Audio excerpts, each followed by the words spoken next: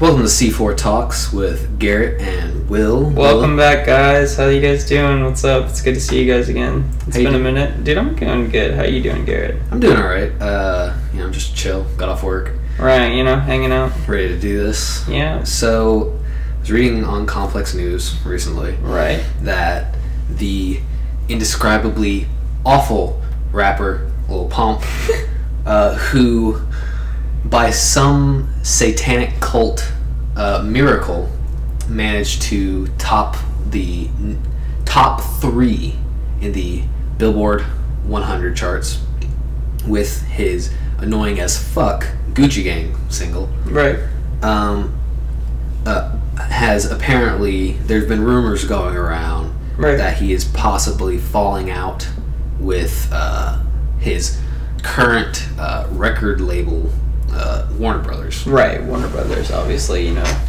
and um, you know those those rumors they might have a, a, a, a hint of truth to them due to the fact that I've heard lawyers that are associated with Lil Pump have said that since his contract with Warner Brothers was signed while he was a minor, Mhm. that the contract uh, can't be ratified Oh, or, shit. or will be ratified. Uh huh. Um, Because he was still a minor at the time. He wasn't an independent. So the contract is uh, not a stronghold. It, it, Right. it could essentially fall through. True. And therefore, uh, that that being the case, uh, the rumors are also saying that uh, any number of other record labels are dishing out contracts that are Substantial. very substantial. They're Right. going to make this motherfucker insanely rich. Right. As if he wasn't already. Because I mean, yeah, I mean, like here's the thing. Well, it's going to jump drastically. yeah. Because I imagine it uh,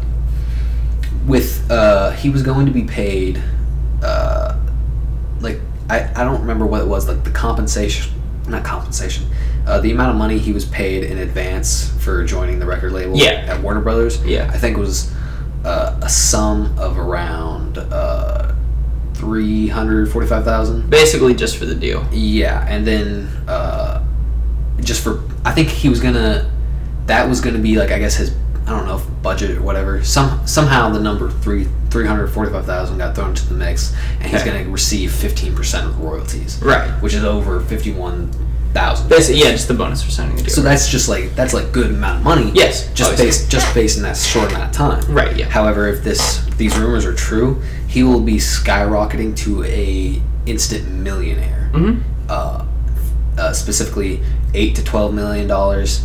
It's crazy. I don't really understand. I don't get it.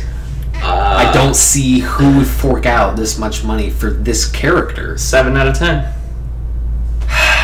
At, at best, dude. That's all I can say. I mean, like, you definitely hate this guy. This guy's indescribably bad to you. Exactly. It, it- like, there's nothing I can say to you right now that'll make you happy. Nothing just- about this makes me. No, of course not. The But like, very idea that this guy is going to be paid millions of dollars Yeah. because somebody wants him that bad yeah, irritates me. he's uh, he's also like, how much older than you? Like, He's just, he's like a the same age as me. I think I'm older than him. Yeah. Yeah, that's some This shit. guy's a kid uh, who doesn't. Oh Jesus hunted on Christ! wrist. Jesus Christ! Oh no, I heard in the the statement when Warner Brothers was originally signing this kid Mhm. that the president or CEO of Warner Brothers was like, "We want him. We're really excited to get him because he's charismatic, has a huge personality, Yeah. and uh, has got so much talent." Yeah. And that's when I just fucking threw my phone because I was like, "Are you shitting me?" Dude, but to be honest with you, that's that's what people think about Lil Pump right now. I don't understand. I don't understand. Like, I can get the huge personality. I don't really get charisma that much, but that's like a. That's a different type of read. That's like yeah. Like I don't know the guy personally. Because I think you personally read intelligent, like charisma off of intelligence, like how smart someone is in conversation. right. And to be honest, I don't even know if I have that much faith in his speech. Right. I've seen videos of him. Actually speaking, Yeah. right? He's kind of an asshole from what I've seen. Yeah. Like honestly, I've just seen videos where he's been an asshole to people. Like that famous, uh, what was it? Like Instagram video where he's on an airplane, high off Percocets, Yeah. being a dick to everybody. Yeah. Uh, not a very good image. No. Uh, didn't help my because this was how I was introduced to this guy. Oh right, yeah. so Uh, that definitely helps your. Yeah, that was like the, one of the first things I saw. first impressions. Yeah, lasting, very lasting impact course. on me. Yeah. No, I understand that. It's just like I don't know. It's definitely the image he's gone for. I have to say that because this is definitely what he's chosen. I mean, I have to say this in his defense. Mm-hmm. Being a creator and not being an asshole is very hard to do. It's kind of like a super. I, I feel like personally, like if you're a creator, if you're something like a creative person, like you have creative thought, like it's hard to like not be cynical about either what you create or the people that enjoy what you create. I agree with you. I agree with you that uh, being in that kind of environment is very stressful. Yeah, it can't. It's hard not to come off to some people that way. Yeah, but, But- this guy's you feel like reaching a different I- level of. I feel like he's he's in this boat Mhm. when he doesn't have to be. Okay. Uh, I can draw the comparison to him being this year, past year's 2017's Lil Yachty. Sure. um, because you know I I draw the comparisons by the fact that you know he's got different colored dreads. Mhm. Uh, he's got this sort of weird persona that I guess people like. Um, Yeah. I don't really see him as all that weird. Mm, Um, I haven't really. I've heard some lyrics from him that Mhm. don't really leap off the page for me. yeah. Um, and I feel the same, and I feel like that's the same way with Yachty. I feel like he's another rapper that has this image about him that makes him seem more interesting than he actually is. Right. And then yeah. you get to actually listening to his songs, and it's the same old shit you hear from like every other rapper. Eh, yeah, but I mean, I don't really know. It, to be honest, like, there's a lot of people that would like to get famous off of saying the same things, though. You know what I mean? And these people are already famous, so, like, it's almost like, what can you say? Yeah, you really. I can't say anything. Yeah. To like It's- debunk the guy. The guy's already like is Mhm. on his way to making millions of Right, fucking dollars. exactly. Yeah, and it's just like, it's just like kind of unbelievable, to be honest, all of it. I mean, the rap gener, like, everything has changed. Mhm. To be honest with you, I didn't expect this big of a change. I used to like rap that like was super like classic shit and like stuff that like, you know, I don't know. Like it's not that I don't like that stuff. It's just like things are so different now. Like Right. I never would have expected this kind of like movement. due to the, due to the internet there's so many different styles so many different brains getting together and just pumping Yeah. shit out That's true. uh, ultimately creating different subgenres i feel almost like every day Yeah, like there's always something definitely. there's something always new but somehow always the same Yeah. But i just i just can't see like like i said these are just rumors Yeah. there's there's no telling if somebody's actually out there. If there's a falling out, yeah, like but- it's not been confirmed. the the only connection that we actually can draw is to the fact that there's been a lot of people in the past that have been hammering it out with his producer.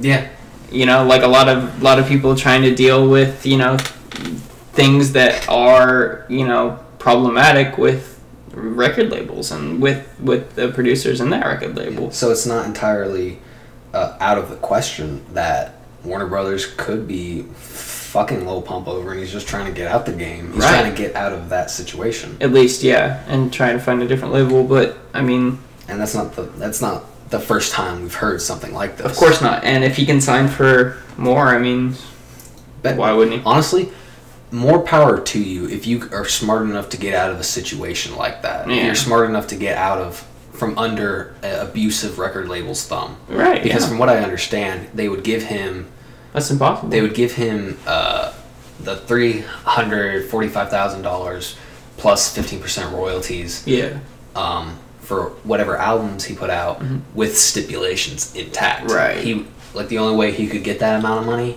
is if the album he put out was over like fourteen songs in the track list. That's like it. That was like that's like an example of the stipulations. Mhm. But but there were um, more obviously and harder to come by you know yeah, exactly. And I, I wouldn't want to be under those stipulations either because No. record labels, Well, like keep we- you under the thumb if they Yeah, can. they'll, they'll do anything. Right. Honestly, It's about their money, really. um, that's a lot like the uh, recent stuff we've heard with like uh, the Atlantic record labels with Warner Brothers right. themselves. Yeah, with Atlantic, yeah, and with Warner Brother, Warner Brothers, it's just like I don't understand like why people can't understand that like uh, music is art, Mhm. and like why we can't just like put at least like a little bit more care, or at least a little bit more time. Like I feel like most people listen to music and Take it for granted. while they're in their car, like while they're driving. Yeah. And even though that's only a distraction by one thing, I feel like it's so much that you can get off the topic of even listening to the music, right? Mhm. Like, what are you even listening to right now? Right. Like, I don't know. I just wish people would care as much as we do about music, Right. yeah, or at least you know hope just, as much. just a little bit more seriously. Right. Know, understand the amount of hard work that goes into it. Yeah, and like get, feel like you're getting something from it. You know, try to take something away from what you're listening to. I really hate these record labels that take advantage of producers that that pump out all these beats That are all clean. They're all together. They're all solid. Yeah. Pump out albums. And to be honest with you, if you can make an album that even relatively sounds like it's popular Mhm. and like mainstream in this year, you made it. Pretty much half the battle is won. yeah. If you can get good vocals on it, and if you can get good the rest of like if the production is there, you, half the battle is won, and they're paying them for like twenty five percent of it. I I just can't believe that somebody could go through all this amount of hard And watch someone put in that much effort for something. Exactly. Literally, days and nights could be spent. Years. Yeah, I mean, just getting this shit off the ground. Right. Only for whatever record label you're under, turn right around, take this, take the uh, album price stuff you have, album worthy stuff you have, and then market it as a mixtape and sell it as a mixtape. Right. And then, therefore, as a result, uh, whatever royalties, whatever percentage of royalties Come that that to person's gonna less. get, yeah, you get paid less, even though you put in an album's amount of work. Dep- yeah, and it, I imagine like anybody that works on this as hard as they do, anybody that's put in a position to like be even paid to make this kind of music cares about it a shit ton, a lot. Like they care about music probably way more than we do. Know about music way way, way more Oh, than we do. But like it's just like how I don't know. I, I I don't understand how like anybody in this world doesn't get given what they're supposed to.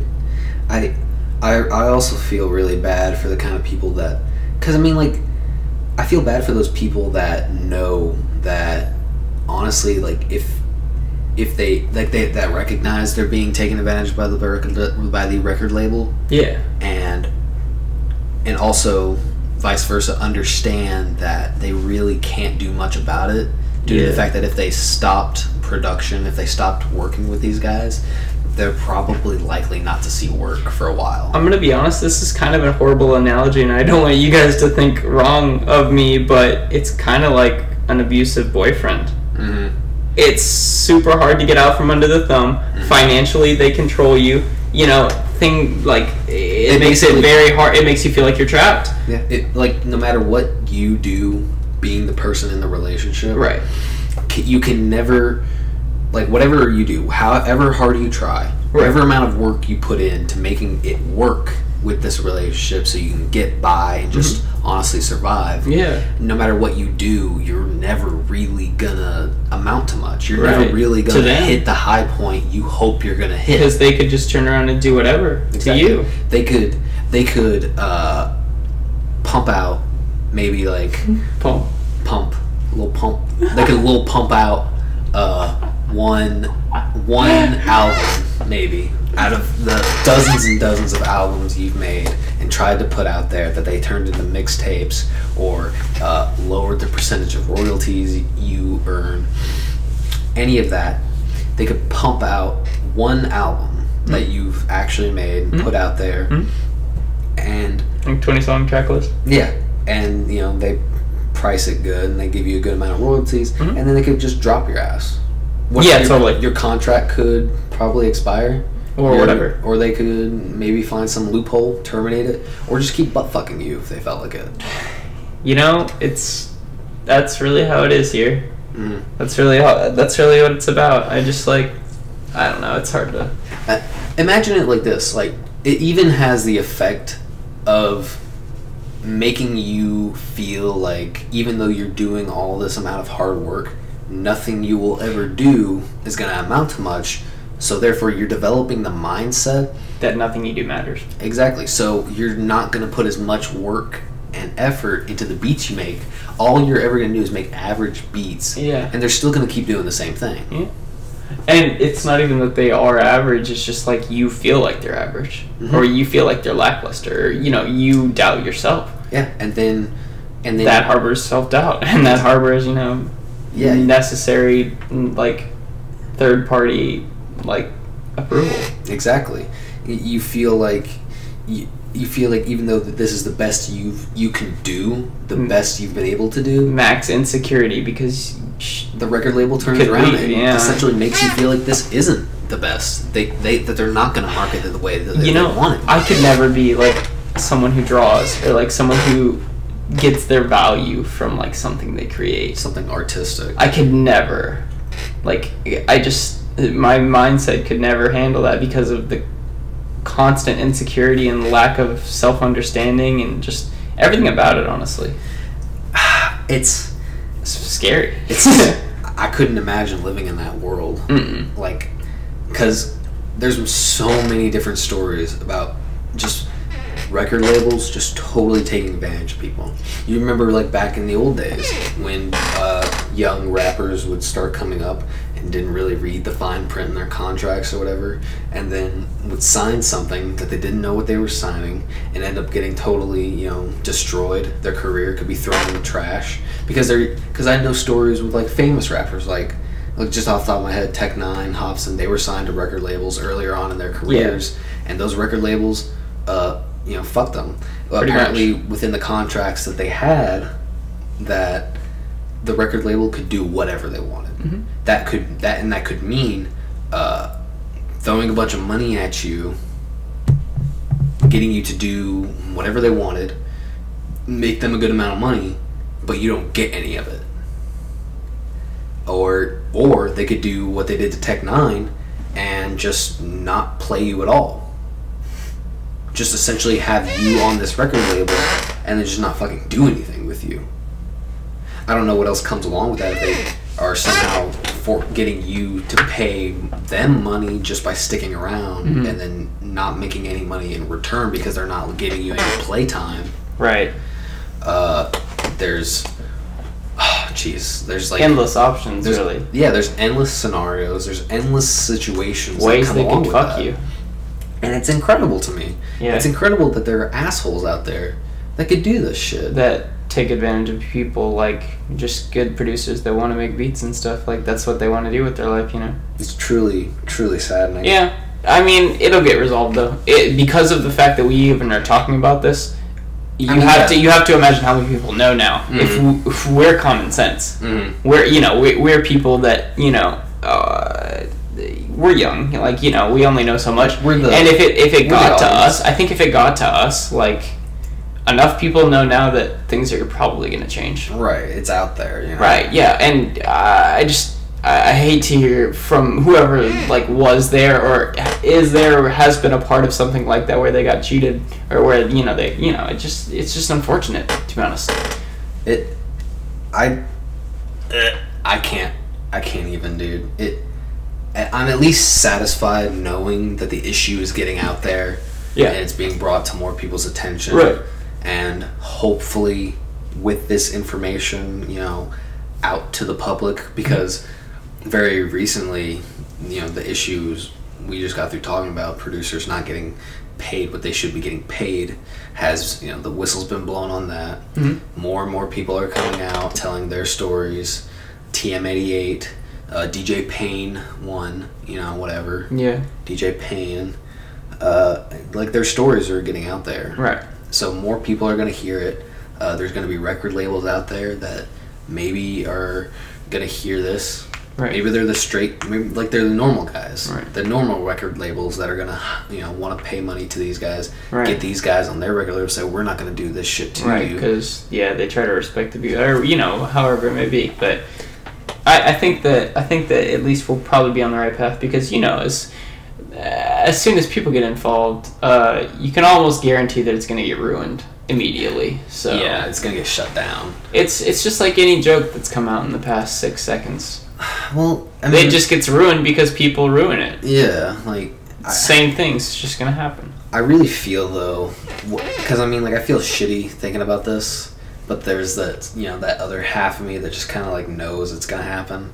That even if this issue gets shut down, there's gonna be another issue down the line that crops back up. yeah You totally it's the record labels. someone's going to stop trying to pay someone as much as they should be paid Exactly. Like I understand it's a business and money is like a big part of it, big part of the business. right But you you Can gotta you just like pay be a someone their decent- worth? Yeah, be a decent human being Try. at least.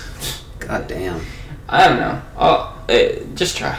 just do your best. All right. Uh, speaking of people not paying people, uh, Spotify Yes.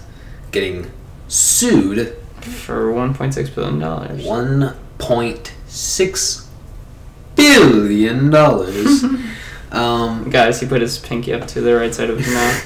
did my Doctor Evil impression? You you could see, but it happened. Yeah, it, it, it's gonna happen today. Oh. It's gonna happen again. 1.6 billion dollars. They're being sued by the Wixen Music uh, publishing company. Uh, uh, sort of uh, not like a huge big deal. They're just they've just got a few singers on there. Uh, Right. I know off the top of my head, Rick James is one of them. Uh, the meme lord himself, uh, in the flesh, um, suing uh, Spotify due to the fact that Spotify is uh, streaming unlicensed music and not compensating the original artists Right. for said music. Yeah, not paying the royalties. Just Just not at all. Tom Petty, I know, has been getting fucked by it. He's he apparently this is information that's new to me. Uh, he would he would find out that one of his songs are being played, or a majority of songs, albums even of his music being streamed on Spotify. that he was not aware of. Exactly, and he had no clue that this was happening. Of course. And Because who's who's gonna let him know?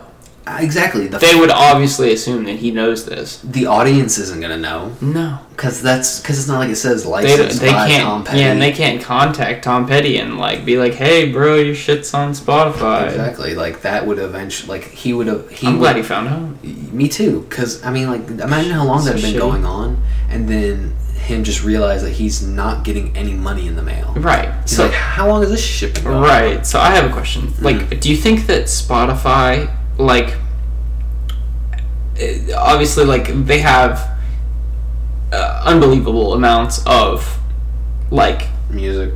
music and the license to this music and they're paying out royalties to the people who they bought the license from you know uh, you know and it's it's it's just like do you think that at a certain point they were like we'll start putting up music and then while we're in the works of like working that out with whoever that we're like getting the lease from or you know whoever we're paying royalties to while royalties to while we're while we're working that out like we'll like keep the music up or like do you think that it's like they try to do it case by case basis? So like how do you think that this got so out of hand where people started recognizing that they were not paying royalties to everybody? I think I think the way it works is Spotify does it case by case. Mhm. I feel that's what they do because from what I've read, that's how I understand the licensing process. it's been like different every time Yeah, uh, but I understand that Spotify does it in a way where they apply for the license for a song or an album to you know smooth things along, or a soundtrack even from like a movie or yeah a TV totally show. totally And they apply for that license, Mhm. and that license you know goes into the work, and however many, much paperwork has to be done, and Mhm. however many people need to be involved, what the percentages for the royalties are, right uh, just all that stuff has to be taken into account. sure Now, I believe that goes case by case, and the caveat to that is that Spotify is trying to get out all this music, get out all this music, have all this be the be the number one streaming music app Mhm. because they have to deal with the likes of uh, Apple Music and SoundCloud, Right.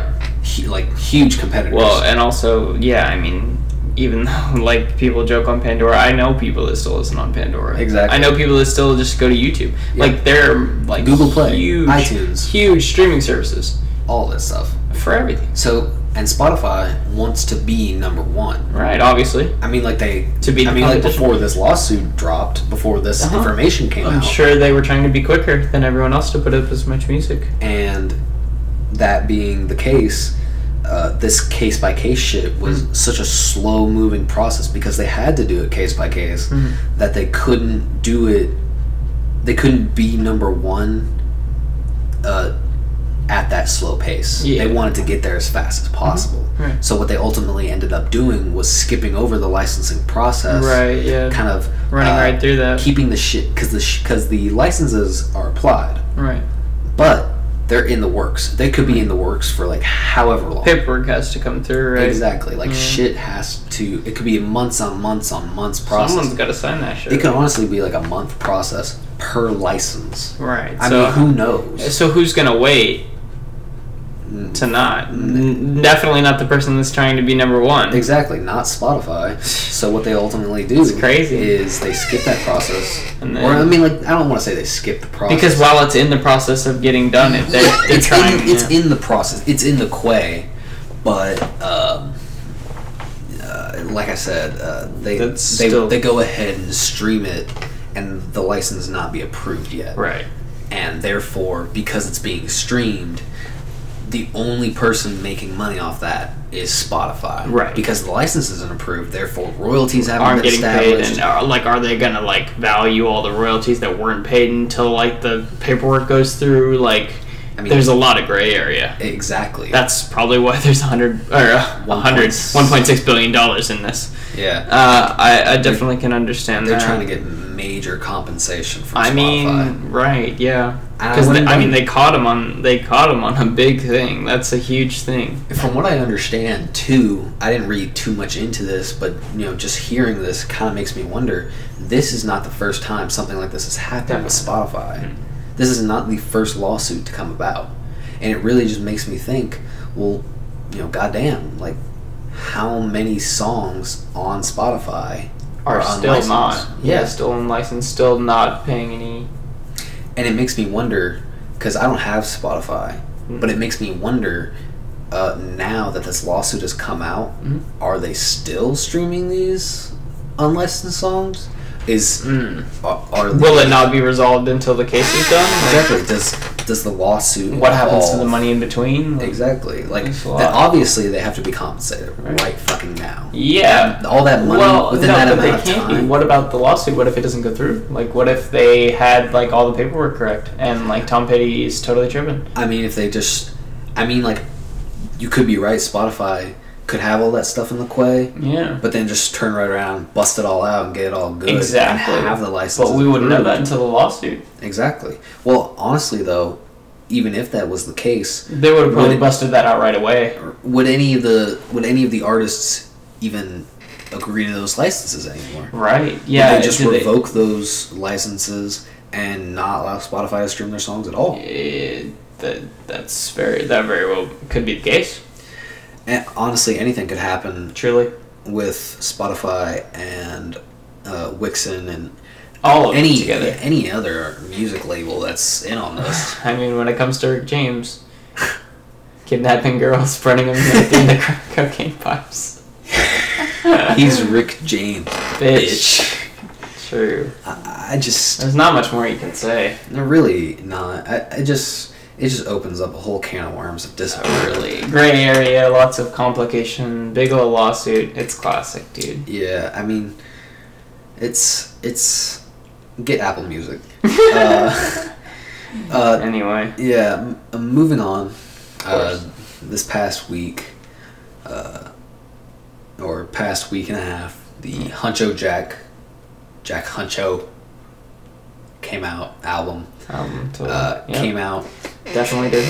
Travis Scott, Quavo. Quavo from Migos. Right. Uh, I guess this is. I don't know if this is like a, a long awaited thing. If this has been Mm. Not particularly. This is mostly unexpected. Uh, it's part of that this weird wave that started like six to eight months ago of rappers that seemed like sort of unlikely pairs getting together Sure. and uh, making an album like Sure. without warning. Yeah. Uh, Twenty One Savage, and Offset. Both the, two uh, different types of rappers. Yeah, the uh, Double or Nothing album, Metro Boomin producer and Big Sean rapper. Right. Uh, Unlikely. yeah, uh, and and uh, I forget what else. There was a They're all. I mean, honestly, like not super unlikely. I don't know. It's just like people that you haven't seen work together work together because they're cool and they know that they'll make good music. yeah. They they know that people are gonna pay attention. Right. And or if they're just like they feel like the same creative vibe or something. You know, they feel like they come from like a similar area or like you know Yeah, we- whatever it may Because. Travis Scott and Quavo both come from the southern region of the United States. Right. Uh, Travis, Missouri, Mhm. and uh, Quavo, Atlanta, yeah. the north side. The Um, north side of Louisiana. It took me a while actually to understand what the fuck Huncho Jack was. Oh, really? I had, cause I mean, like I don't, I didn't, I've never in the entirety I've been listening to Migos, and or I don't, I don't listen to Travis Scott. right. Uh, have I ever heard of Cactus Jack and Huncho? yeah. I didn't know that that was their nicknames. I, It's not. It was not until this album. This is this is brand new shit. I know. Well, I mean, Quavo's always been called Huncho. I- Huncho. exactly. Huncho. I'm like it's leader. It's it's it, it's just head like head Huncho, head Huncho. well, not even like it's just like it's what it. It's just like what Quavo has always called himself. Quavo's a Huncho because he's like the one third, like first third Oh, of okay. Migos. He's like the leader, whatever. And I get, But, like- I get Travis Scott's Cactus Jack. That makes sense. because he's from the south. I mean, have you seen the album cover the of uh, this? of this Yeah, album? of this yeah, album. totally. It's fucking hilarious. Yeah, it looks pretty fun. It looks pretty cool. It looks pretty I- funny, pretty cool. fucking Huncho and Cactus Jack. It, I, I, okay, getting into this. Yeah, totally. Uh, right off the bat, I have to say I am not the biggest Travis Scott fan. Yeah, I am. it doesn't seem I- like your shit. I am not a huge Travis Scott fan at all, to be honest. Oh my honest. gosh. Um, Oh my gosh. So this is a toughie for you. This, This- entire album is shit. not entirely, Uh, mostly. but I, because I mean, like This is a lot of I like- Travis Scott. This, this is is a lot of Travis every Scott. song has Travis Scott, and that's Yeah. a shame. Um, Sure. I mean, like for me, Right. uh, but but like honestly, that's just because I don't like his vocals. Sure. I think entire. I think what it is. You just don't like the autotune. I just don't like it. I hate it. I think it is. I think now. I mean, the I will be fair. I will be fair Okay. and say that not every time he gets on a track Doesn't sound bad. doesn't sound entirely bad. Okay. Fair. But when it sounds bad, dude, It does. it really sounds. Oh, I agree. Definitely. I mean, that's what auto tune is, pretty much. It's kind of a hit or miss, but at the same time, it's not. Uh, yeah. He definitely is. I can definitely say one thing about Travis Scott.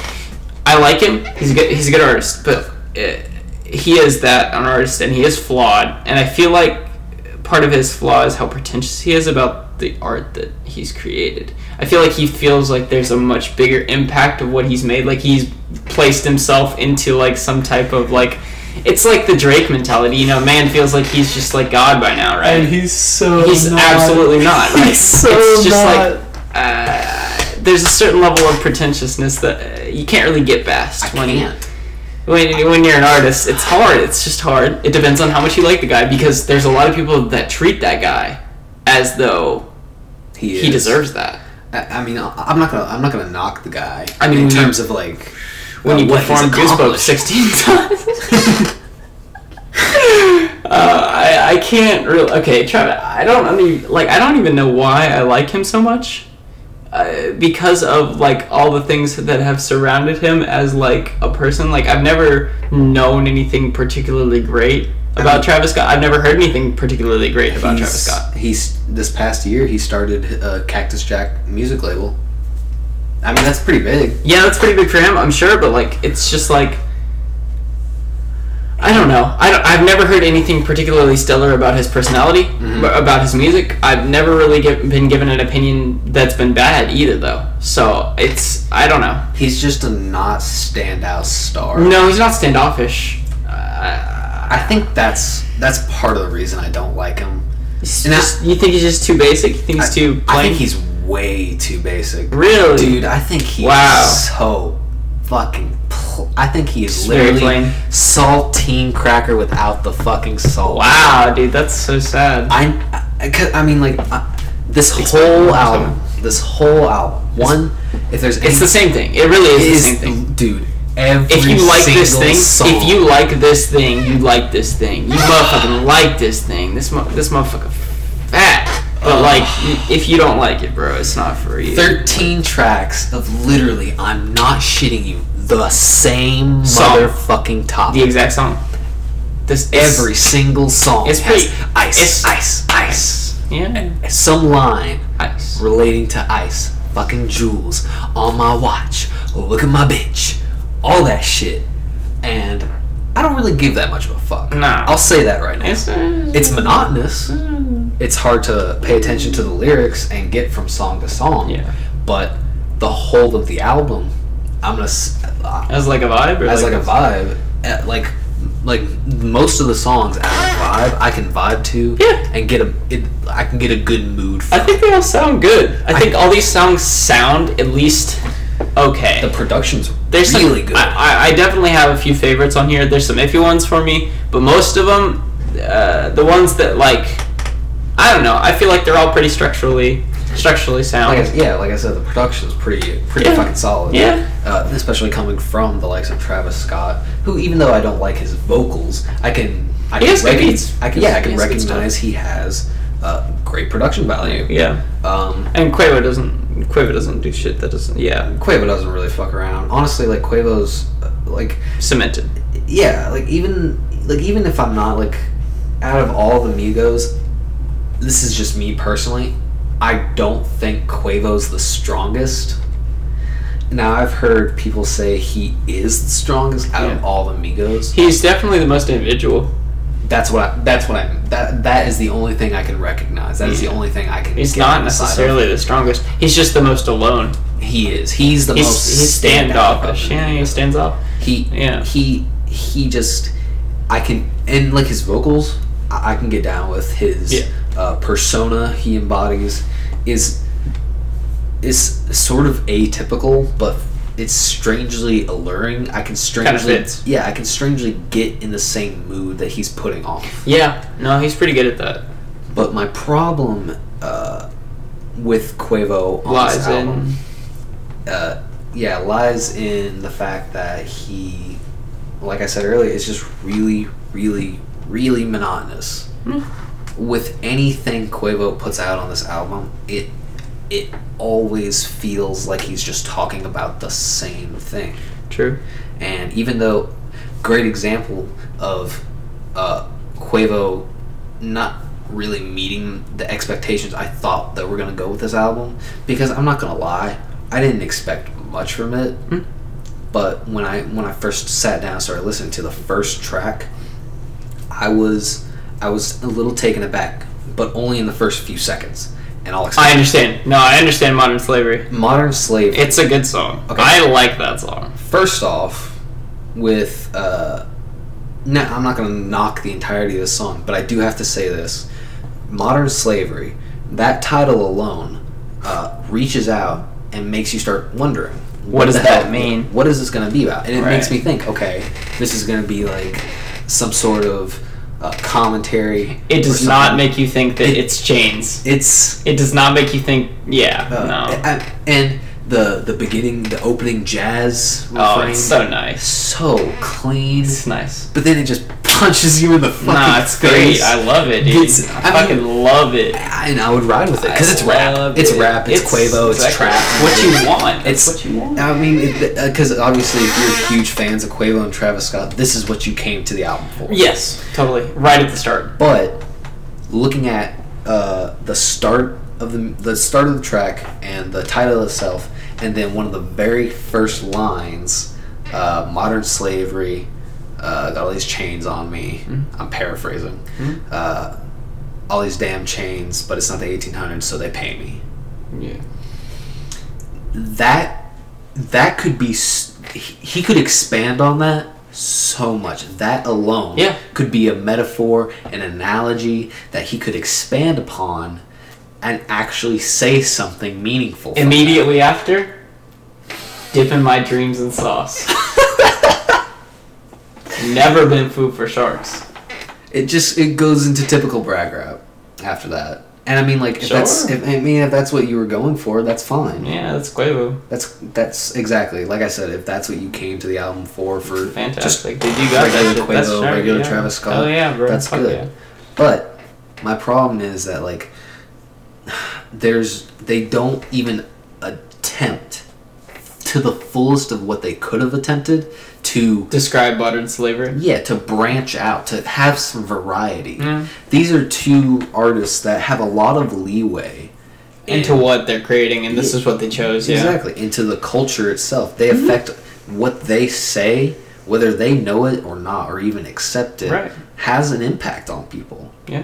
and and and I'm not gonna say like Yeah. fucking anything because I'm not shit compared to these guys, Sure. but they really had the potential to uh, make an impact, say something meaningful, have some commentary on stuff. And I mean, like I didn't expect like anything crazy, but like if they had expanded upon just that first analogy, Yeah. I really think that they could have they could have had a stronger. Uh, I guess emotion from me. They could have had me better. I have a question. What's that?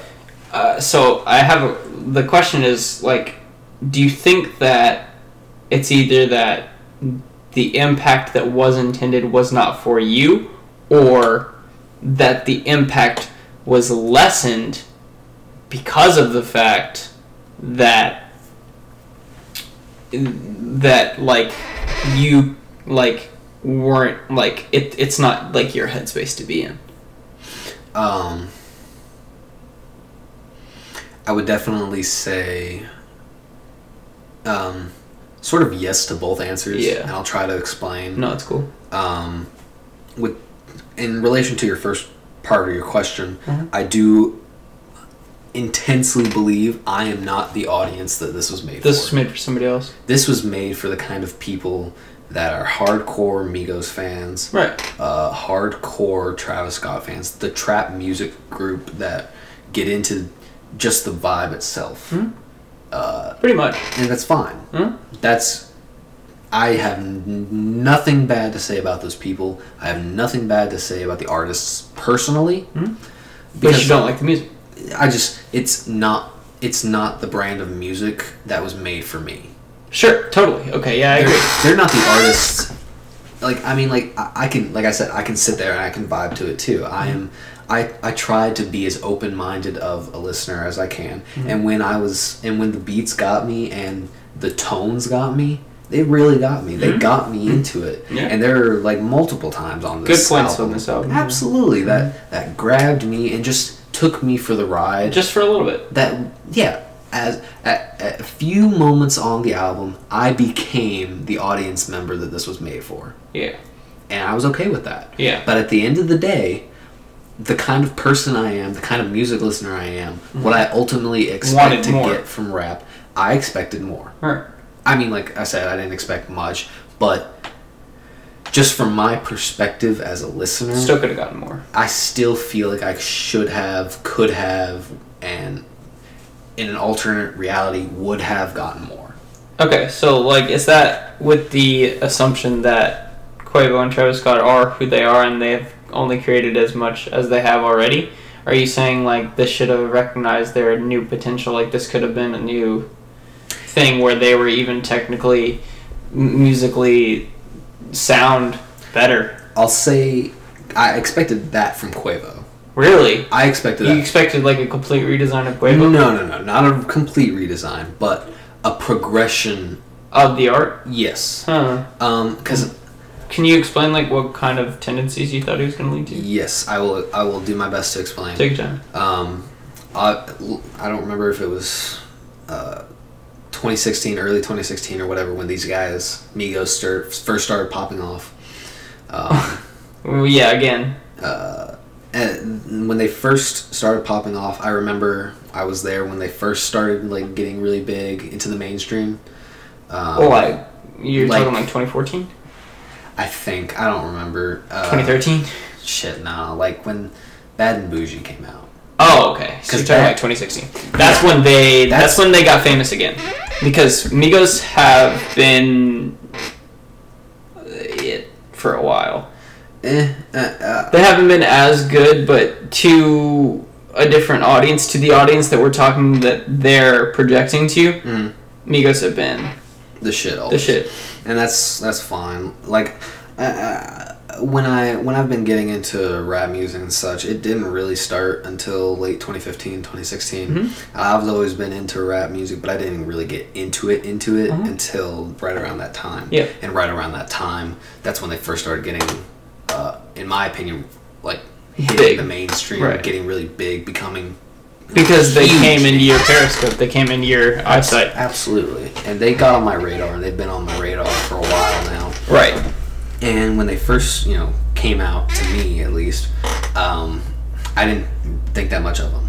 Right. Uh, I didn't think they were that great. I thought they were just another group uh, that was part of this trap, uh, rising trap genre. Right. Uh, I thought they were going to be exactly like the Lil Uzi Verts, the uh, like uh, who am I thinking of? I don't want to say Famous Dex. I'm thinking of somebody else. Uh, well, anyway, the Trippie Redd. yeah, Lil Yachty, uh, Kodak Black, Yeah. just a whole bunch of those people that started popping off around that time. yeah. All these tracks. You thought they were gonna be the same, yeah? young thugs. I literally thought that that because at the time I considered them a part of that crowd, Yeah. and as time went on, You realized that they weren't? yeah, I felt like they they were. Because Young Thug's not either. I, he's trapped. Completely separate. He's. I mean, nowadays uh, he's there's a discernible difference. They're around the same level, though. Back- I'd say. I'd say back then there wasn't really that No, much of a difference. not a huge chunk because there wasn't like a good description of of the music now. Trap wasn't even because trap used to be like trap, as in like fucking weird dubstep house shit. Yeah. Uh, but I remember that shit. but now Trap uh, is trap. as times progressed, especially I feel throughout the year of 2017. Oh, uh, huge, huge, huge leaps. I yeah. feel. I feel like as a but towards the late Yeah. 2017, I felt that Migos as a group had matured to a point where their rap skills, I felt, were profoundly better than what they used to be like. True, true. I felt like they were now at a point in their life where they were like, uh, we we can do so much better. Right. We as we being millionaires, being paid, well paid artists, could Can- put out music that people are gonna look at us and be like, they're the shit. Do you do you have like examples? What, Uh, what do you think? I'd say get the bag off the top of my head with I get the bag. Yeah. I Uh, that's a really good song. Uh, Takeoff's verse, killer. Sure. Uh, Quavo's chorus, his hook. I, good. I love. I it. mean, yeah, it's repetitive if anything now as well. I mean, they've always been repetitive. True. I think that's just part of the Migos. It- it you know, is. Versace, Versace, uh, Hannah Montana, Hannah Montana, Hannah Montana. I think that's just. I'm not gonna hold that against them because that's part of their identity. I feel. In a way, yeah. I, I feel like they're strayed away from that a lot more now because they realize that like there's uh, there's that more depth. I feel like yeah they have matured I get the bag. True. Get example because that's not just repeating the same word over and over. No, definitely. That's not. a hook where There's yeah. I mean, but on this on this album, what can you say? Is are the hooks all one word? No. But are you still upset by it? I, yeah.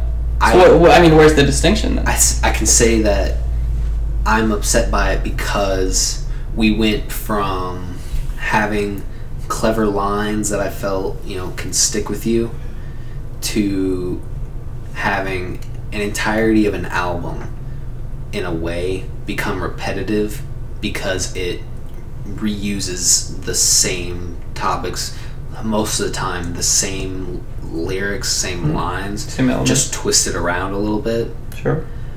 and I feel like it's different with this album because let's say in like an like if I just took any one individual track here Yeah. and took it out of the album Yep. and that was all I listened to and Yeah. it was one of the great ones on here one Yeah. of the good ones and I listened to that Yep. I could honestly say you know this isn't that bad this Mm-hmm. isn't awful this is really good actually it gets me it makes me vibe And then you'd forget about the rest. Exactly. You you would not pay attention at all to the rest of the album. But looking at the album as a whole, That's what makes the difference to you. that's what makes the difference for me. It Cool. it makes me just constantly feel like somebody's hammering into me the same stuff that they just got through saying on the previous track and the only thing that, you know, makes me, you know, start bumping my head a little bit is the guest verses, mm-hmm. the beats themselves, and the hooks yeah. the actual verses from Travis Scott and Quavo, Not a fan. not a huge fan of. Hmm. Uh, maybe one or two I'm pretty good with. I, I can't remember off the top of my head. There was one that I, I, I liked uh, from Quavo. I can't remember what it was. Do you know the hook on the song? Uh, no, I don't even remember what the song was. All right. Well, yeah, it was that's one of the, it, was, it was one of the ones in the latter half of the album. Maybe like Huncho Jack. No, Saint. I, I like I said I can't. You can't even. Yeah, I that's fine. even. Okay. I don't even remember what the beat was like, um, but I just remember I, I vaguely remember the line, and I can't pull it up right now in my mind. But I just, I just, It I just, it hit me. It, it was one of the few standout things from this album because, like I said, I didn't really feel like there was all that much. Not a whole lot of connection. Yeah. Yeah, not a lot of. like Black and Chinese. Yeah, no, that's not a big one for me either. I Okay. Black and Chinese, uh, what meds on relief. I just, I didn't honestly. Didn't resonate with me very didn't much.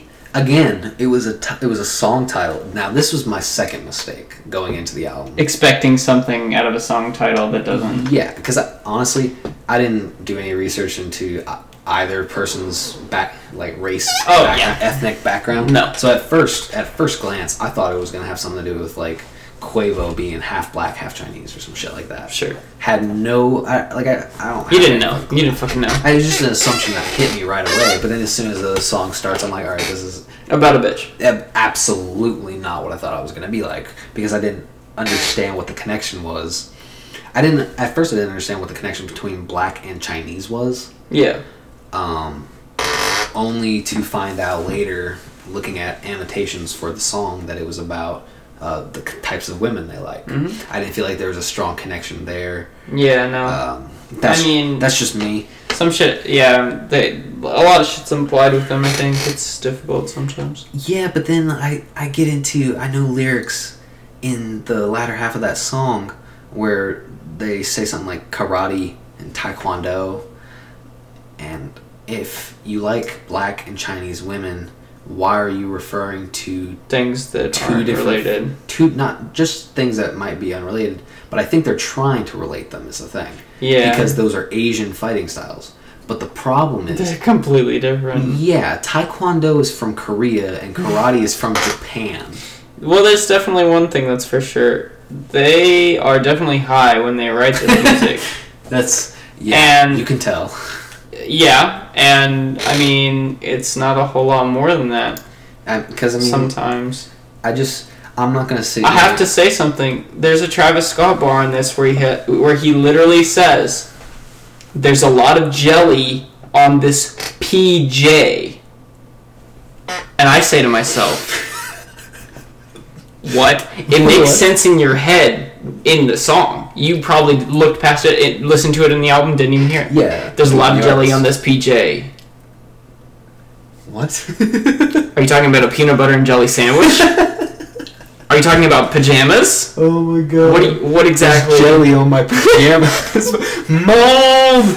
I spilled my PBJ on my jammies. Oh, I just it's not even that. Like I don't expect that to be it, but I'm just like curious because like I think that they rely on the fact that people don't think about the things that they say a lot. Mm-mm. That's what I mean. Like their audience that they're trying to appeal to is just the Well, but they don't care. Yeah, exactly. It's kind of amazing. And I guess I guess going into this album, one of my biggest things was like before when I was talking about what I thought was the progression of Migos. Here, I felt like they, Deceleration. yeah, I felt like they kind of took a step back, Hmm. or they kind of just slowed their momentum and just kind of was doing business as usual. Yeah. I mean, think about it this way: that only one third of the Migos is represented here. Takeoff's only on one song. Offset's on one song. Offset. Well, Dubai shit sucks. Dubai shit does suck, and Offset is on half a verse.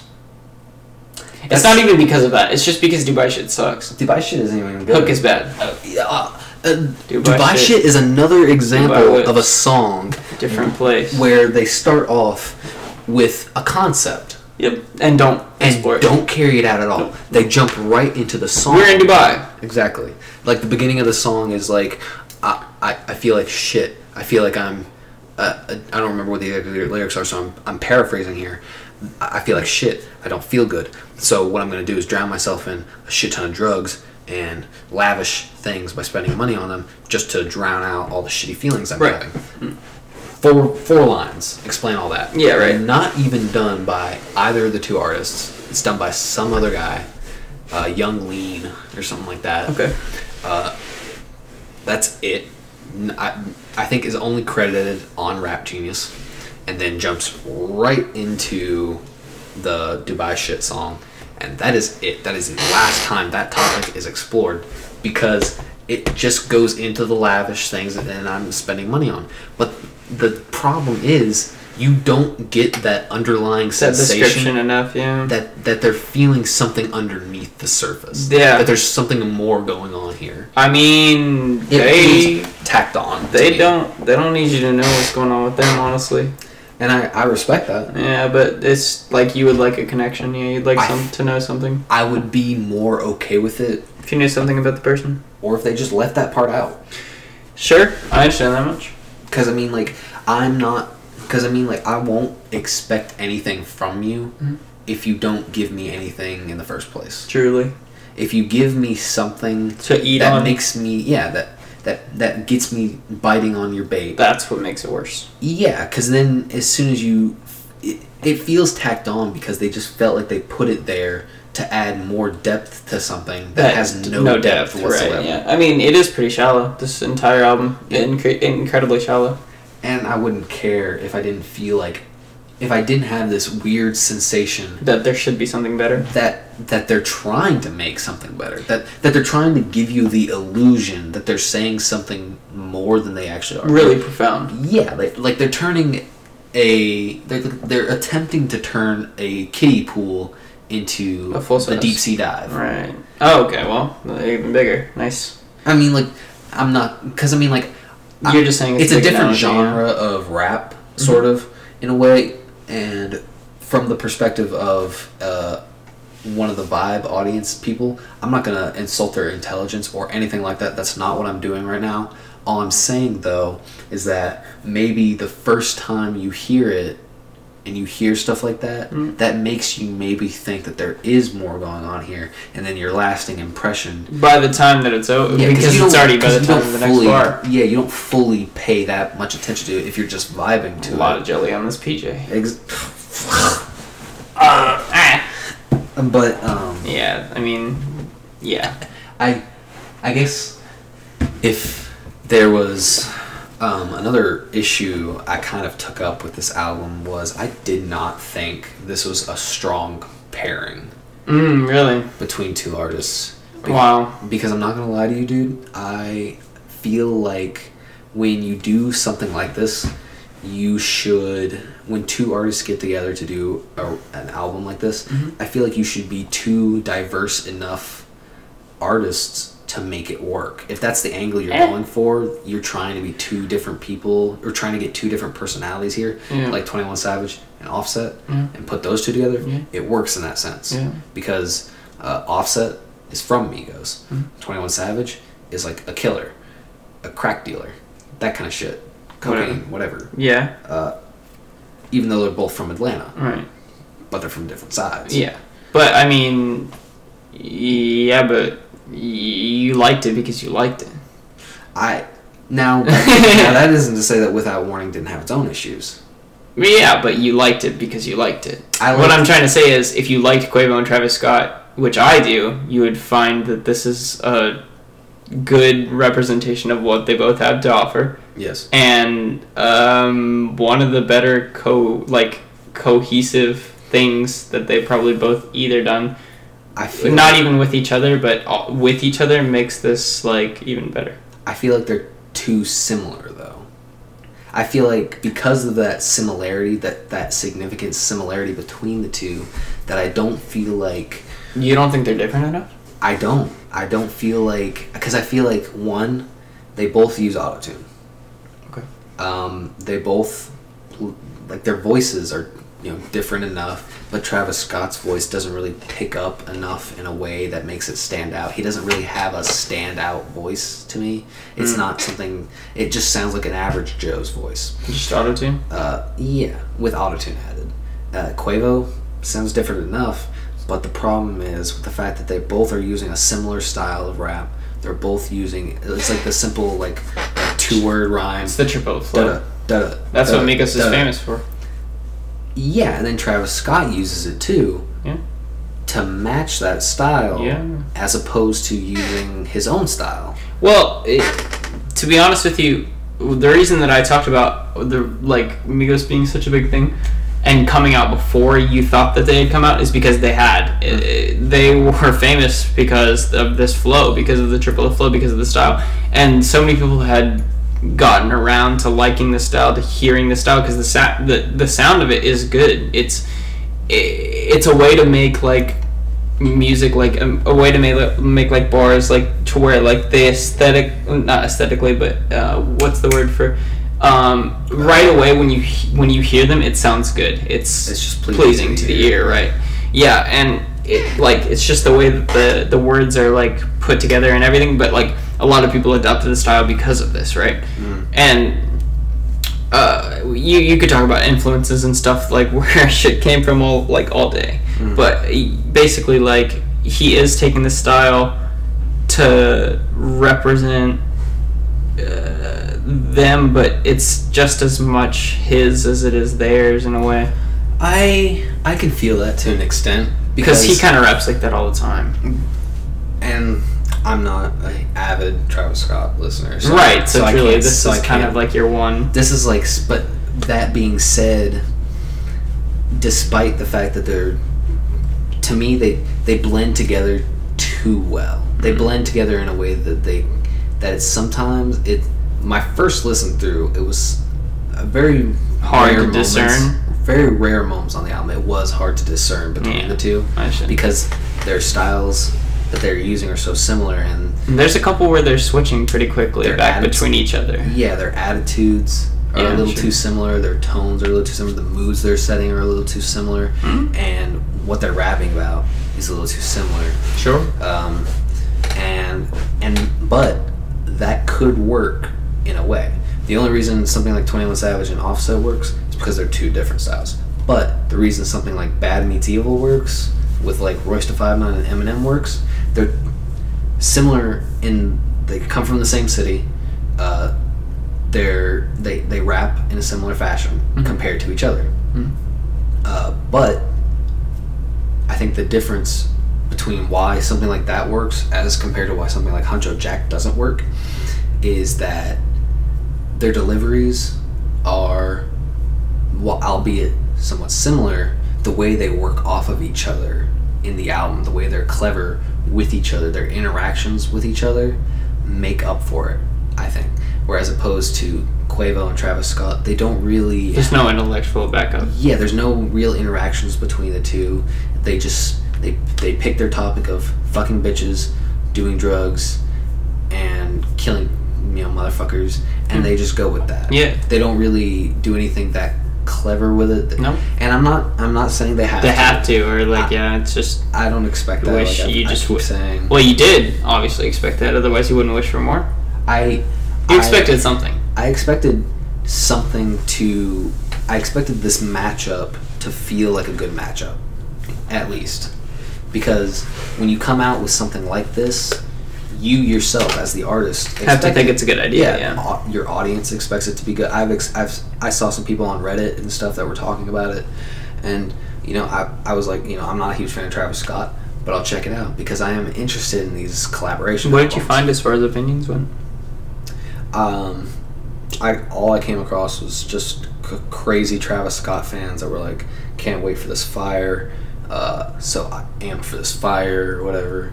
Uh, I mean, like, I. Yeah. whatever. I didn't. I mean, I didn't hear to any of the any of the singles uh, pre-album. yeah. Uh, I went into it totally cold. This is definitely a bigger, bigger one of like, okay, so like I have to say, a lot of the stuff that Garrett has said here, like I, I've been agreeing with him. I've been working him through his thought process, but I mostly agree with almost all of it. Uh, I particularly really like this album. This album really works for me. But I let me finish. I, I. I have to say, eh, the only reason that I feel like it works for me is because I know how lackluster it really is. Mhm. I know at base level, this is not a particularly fantastic project. I like uh, a few of the singles. I and by like a few, I mean like five or six. So that gives me at least like a, an average Mhm. of like good songs to bad. So like I would say that this is a good album for people who like this music. People who people who like this shit. Like I don't know. Like it's like the the people that like wanted to hear the shit know exactly how it's gonna sound Mm. and like they're gonna like like the shit out of it but like obviously like people that don't like aren't aren't it's i don't know So you personally, what did you expect going into the album? i personally i don't i don't think about a whole lot of stuff uh, that i expect when i when i start listening to something i usually just start because I, I have i have think i have the place that i am there at that moment and i have the starting point in which i take the knowledge that I had before that, and then I now have the understanding of life that I have with that knowledge, whatever it may be. So if it's music, I'll sit down and I'll and I'll be like, it's time to digest this music. Mm. I listen through the entire thing, and I'm like, here's what's bad, here's what's good, here's what's bad. You know, go through everything about what I uh, what I like and dislike. So I I usually don't think about what I expect from something. You just go into it with the knowledge you have.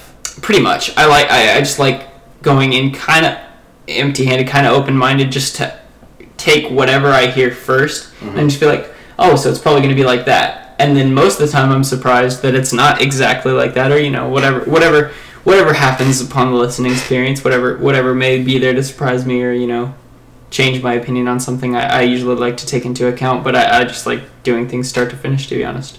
Okay. Um, going, leaving the album, what were your final impressions on it? My final impressions of the album, uh, the last couple songs were honestly kind of a little eh Yeah. for me. I felt kind of like it went kind of downhill after a little while. Yeah. I don't know, like the way that I was actually introduced to like this album even coming out is because no shit, I actually like pulled out the fucking Facebook. I haven't gone on Facebook in like 67 years, but um I got on and I was like I was looking at like an ad and an ad came up for the song for Huncho Jack, like the song and the album and it was like playing I was like, "Oh shit. What is this? Like Mhm. this is Quavo. Like I hear Quavo in my ears and I'm like, "What the fuck is this?" Like I'm, I didn't even expect Quavo? I didn't yeah, exactly. It's funny. No, but um I was like, "Oh shit, I got to check this shit out." Uh-huh. And um, yeah, I was just like super surprised because like who expects to find shit on Facebook? So like obviously like they were trying to get shit out for the Yeah. album. They knew that it was going to be less of a hit. Yeah, so they had to do better at advertising. Yeah, and I can feel that, but like I, I don't know, like white people love Quavo. White people love Migos. I, Like none other. I don't know. I mean, like I, I guess I know, but at the same time, Bro. it- it's it's all up in the air to be honest. Like I I, mean- I, I try not to understand why people like this thing or this. Thing. Yeah, true. That's true. I mean, it's hard to say one way or the other, but I mean, I'll respect it. there's I, at least okay. I, I take back that white people love Quavo or like white people love Migos, but I'll say there are quite a few white people at Migos and Quavo and Travis Scott concerts. Oh, I thought you asked why people. No, I thought you. I didn't know you were making a statement. no, I was saying white people. white people. T E love Quavo, love Migos, I guess just because it's easily digestible. and we're trying to get high. That's true. And we care. I mean, obviously, everyone cares about money at least a little bit, yeah. and we're probably the greediest bastards. I guess just because on a, a basic, fundamental human level, it, we want to get it. We want to get it Yeah. because we don't get it to begin with, so we want to get it. Yeah, Second to last question. give it to me. Moving forward from this album, Is this going to change anything? I was just gonna ask, where do you think these artists are gonna go, and what do you think is the sort of angle they're probably gonna try and approach from now? To be honest with you, I think that they could go anywhere they want. Mm-hmm. But if I had to guess, I think the next step for Quavo is probably going to be another album. Uh, there's going to be a Migos album coming out Okay. real soon, Yeah. relatively soon. I, I definitely believe it's going to be a full length album, probably. You know, full length, yeah, like like full length album. Hopefully, I mean, I, if it's just going to be another mixtape, if there's going to be a collaboration with somebody, I'm excited to see it with Quavo. Travis Scott, more or less same thing. Uh, it depends on what it is. Obviously, like I know who I like, I know who I don't like. If it's going to be a collaboration with someone I don't like, you know, it's going to be all right because he doesn't obviously make always the best music. I don't like.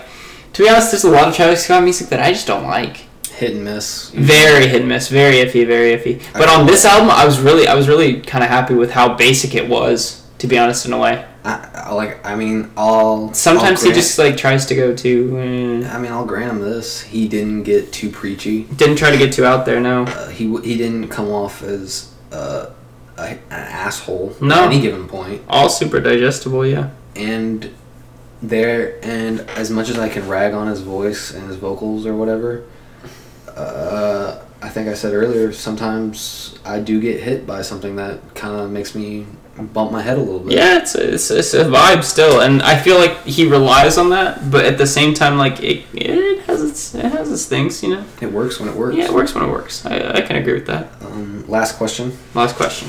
Out of five, what would you rank this album? And you can do like points. Yeah, of whatever, course. whatever. No, I, assumed that already. Four point two. Oh, okay. Wow. Um, I can see that. Uh, your your reasoning stands. Uh, I guess for four point two. It's, it's not great. I mean, it's It's not. okay. It's good. It's good. It's good in a little bit. It's good in point two, but it's not great. Okay. I can see. I can see that because just based Uh, on maybe like mm, like three point eight, Uh, three point nine. that's one hundred. I Right, totally, around four. I can totally see that. Uh, Probably less than four. Yeah. just because, uh, like for me, Eh, it, It's it- probably like a two point two. Yeah, because oh, I want to say like a two. Seven? No, I think I just have to give it a solid three. Three on the even. Yeah. Right in the middle. Didn't really spin you either way. Yeah, because I mean, like as much as I can sit here and I can bitch about And act things like you- and act yeah. like I give more of a shit than I really do. Because you don't. uh, the truth of the matter is, the truth of the matter is that at the end of the at the end, like by next week, I, I, Opinion won't matter. the yeah, my opinion won't matter. My opinion might change or it might not. Yeah, yeah, and to be honest, this this album has affected me the same way uh, a light breeze affects me. Probably didn't affect you at all. Yeah. It, it, it's not even about that. It's not. I don't think you're meant to take away something, but yeah, yeah, whatever. and even even even knowing that I'm not supposed to take something huge away from it. At, as an album, sonically, I thought it was good. Yeah. Um, very appealing to the ear in Yeah. most cases, Yeah. and At least attempting. and that's more than I can say for a lot of rappers out there. More than you can say for Quavo and Travis Scott all the time. Yeah, and I can walk away with that information, with what I've heard, and I can say, you know, I didn't hate it. Maybe they'll get and, better. And and yeah, maybe. And for me, maybe maybe they'll make something else like this. yeah, I, I like honestly, like I don't hate this album. I didn't No, hate it. I didn't dislike it. It's not a very hateable album. I don't think It there's really something. For, it's not even that there's something for everyone, but it's just so unbelievably this Yeah. one thing that if you don't like that, then you don't like that, and you could hate the album. but it's not very hateable for someone who likes rap. I think because at least at some point you're like, okay, I've heard this enough to where I can't. I can't just keep hating it, otherwise I'll just hate myself. You know, it's Yeah, ki- it's kind of it's kind of like Pavlovian in a way. like early, like, like like at earlier points in studying rap as I've tried to do, like there were plenty of moments where I was like, God, I'm, I'm so sick of all these rappers. I'm so uh, sick of hating this because yeah, yeah, yeah. uh, bitches, Yeah. fucking your bitch. You can only hate shit something so much right before, before you're just, just like. accept it. I mean, I remember a time when you didn't like Twenty One Savage at all, and then we did the Without Warning stuff, and I was just like, well, yeah, it was crazy. Like I mean, like you know, opinions change, and at, at, at certain points, you just accept that this is part of the culture. yeah, it really is. And this is a So I- so I this can't is probably a, this is pro- this is probably a bigger piece of than bigger piece or bigger piece of the culture than you probably realize. Yeah, because I mean, like This probably affects a lot of people that you don't even know, And and, like are younger than you, and don't Yeah. think about nearly half the shit that they say or do, and exactly are stupid. But yeah. and that's why I can't really knock Quavo or Travis Scott because they're just trying to put out music. because yeah they're whatever culture they're affected by this culture That's this what they made. culture, Yeah, they they made it they for them. they are part of the culture and they're doing their part Uh, yeah, I, I have to say, so uh, yeah I, I finish it out with three you finish it out with like 3.9 three point nine. Uh, yeah, stick with that. That's probably good. uh, I, I think that that's probably 3.9 to 4.2 whatever yeah, yeah, whatever. It's around a four. yeah I, either way, it's okay. It's a good album. I think that we've definitely talked about shit and a half. yeah There has been a lot of stuff discussed. I hope you guys fucking enjoyed listening at least a little bit to us rambling about random shit. yep Um, I have to say, it's fucking late as the bitch right Oh, now, oh, yeah. and some insight into the recording of this. It's uh, it's like past 2 a.m yeah, I don't, yeah, pretty much. it's it is currently no it's it's 3.22 Fantastic. uh, uh, that's oh jeez uh, well anyway I hope uh, everyone uh, enjoyed this week's C4 Talks. Thank you guys so much for listening. It's been great. I'll see you guys on the next one. Stay safe.